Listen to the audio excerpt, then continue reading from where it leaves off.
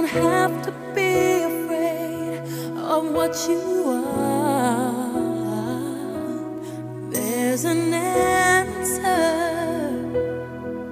if you reach into your soul and the sorrow that you know.